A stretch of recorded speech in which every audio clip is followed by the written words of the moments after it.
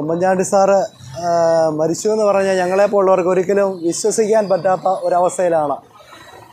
പാവങ്ങളുടെ ഏക ആശ്രയ കേന്ദ്രമാണ് ഉമ്മൻചാണ്ടി സാറ്. നമുക്കറിയാം പുതുപ്പള്ളിയിൽ ചെല്ലുമ്പോൾ നമ്മൾ ഓരോ അപേക്ഷയായിട്ട് ചെല്ലുമ്പോൾ സാറ് ആ മുഖത്തോട്ട് നോക്കിയിട്ട് ആ വിഷമമാണ് സാറ് നോക്കുന്നത്.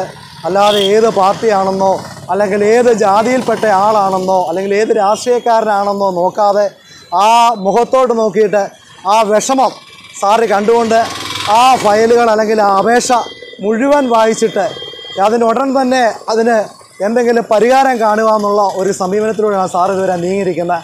പല പ്രശ്നങ്ങളിലും നമുക്ക് പല പ്രശ്നങ്ങളിലും നമുക്ക് സാന്ത്വനമേകിയിട്ടുണ്ട്. പ്രായമായ അമ്മമാരെ പാവപ്പെട്ടവരെ എല്ലാം അവിടെ ചെന്ന് പുതുപ്പള്ളിയിൽ ചെന്ന് പറയുമ്പോൾ അവിടെ എല്ലാം ഒരു ആശ്രയ കേന്ദ്രമായിട്ടിരിക്കുന്നു ഉമ്മൻചാണ്ടി സാറ്. ഇനി ഇല്ലെന്നറിയുമ്പോൾ നമുക്കെല്ലാവർക്കും വിഷമമാണ്. എല്ലാ ഇവിടുത്തെ മുഴുവൻ ജനങ്ങളും പാവങ്ങളെല്ലാം കരയുന്ന ഒരവസ്ഥയാണ് അതാണ് ഈ വിലാപയാത്രയിൽ ഉടനീളം അങ്ങ് തിരുവനന്തപുരം മുതൽ ഉടനീളം വിലാപയാത്രയിൽ മുഴുവൻ കണ്ടിരിക്കുന്ന ദൃശ്യങ്ങൾ അതാണ്.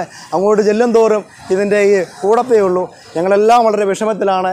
അതുകൊണ്ട് ഇനി ഉമ്മൻചാണ്ടി സാറിന് പകരമായിട്ട് വേറൊരു നേതാവ് ഇനി കേരളത്തിൽ ഉണ്ടാകുമെന്ന് തോന്നുന്നു പോലുമില്ല ഞങ്ങൾ ആ ദുഃഖത്തിൽ പങ്കുചേരുന്നു. കോൺഗ്രസ് കുറിച്ച് മണ്ഡലം കമ്മിറ്റി ഇന്നലെ മുതൽ ഇവിടെ പന്തൽ കെട്ടി സർവമത പ്രാർത്ഥനയും പുഷ്പാർത്ഥന നടത്തിക്കൊണ്ടിരിക്കുകയാണ്. ഇന്ന് ഭൗതിക ശരീരം വന്നു കഴിഞ്ഞപ്പോഴാണ് ഞങ്ങൾ ഇവിടെ നിന്ന് മാറുന്നത്. ഞങ്ങൾ ഈ എല്ലാവരുടെയും വിഷമത്തിൽ ഞങ്ങൾ പങ്കുചേരുന്നു. നന്ദി നമസ്കാരം.